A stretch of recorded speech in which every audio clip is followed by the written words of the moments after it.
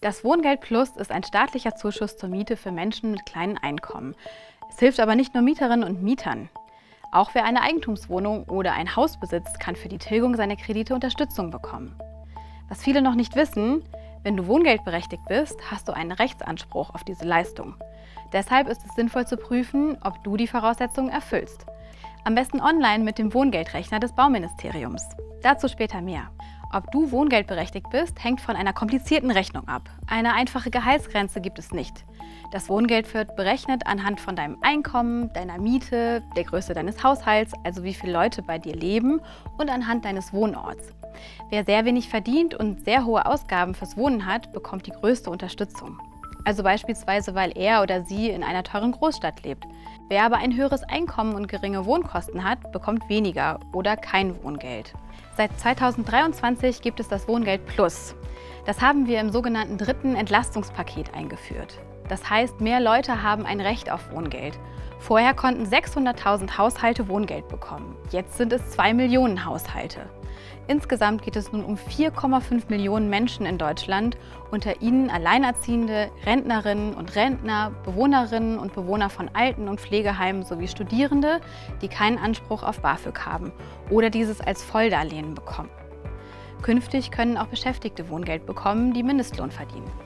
Wer schon andere Transferleistungen erhält, bei denen die Wohnkosten berücksichtigt sind, bekommt kein Wohngeld. Das heißt also Empfänger von Bürgergeld, Sozialgeld oder BAföG. Das Wohngeld Plus wird im Durchschnitt um 190 Euro auf 370 Euro pro Monat für die bisherigen Wohngeldhaushalte erhöht. Die genaue Höhe des Wohngelds hängt davon ab, wie hoch Miete und Einkommen sind und in welchem Ort man wohnt. Zwei Beispiele. Ein Rentner in Berlin mit einer monatlichen Rente von 1259 Euro brutto und Kaltmiete von 500 Euro bekommt monatlich künftig 252 Euro Mietzuschuss anstatt bisher rund 74 Euro ein Plus von 178 Euro.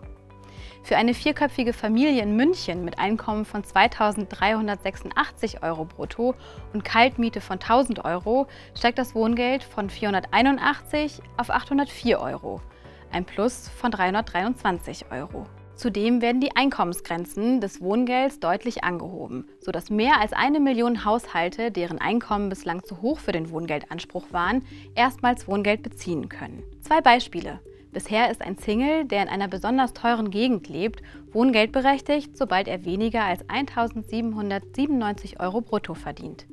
Künftig steigt die Grenze auf 2.301 Euro. Für eine vierköpfige Familie in einer teuren Gegend steigt die Einkommensgrenze von aktuell 3.697 auf 5.077 Euro. Um die hohen Heizkosten in Zukunft abfedern zu können, enthält das Wohngeld Plus auch eine dauerhafte Heizkostenkomponente.